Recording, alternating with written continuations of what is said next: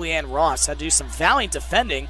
And now whip ball in by Augustanello. Oh, it hits the crossbar. It's loose and still not cleared away out of the box.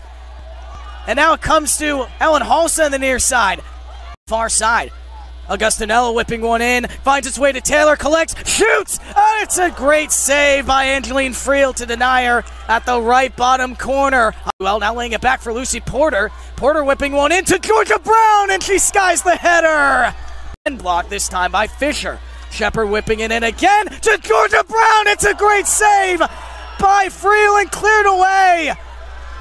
Across from Augusto, into Taylor, it's loose, it falls to Porter, and it's off the post, and is it cleared off the line? It is! How did that not cross the line? Unbelievable when it comes to Louise Hayden on the near side corner flag, and eventually cleared out of play. The third, a Besson's ball into the box, trying to whip it far post for Shepard, tries to head it down for Porter! Oh, it's tipped onto the bar!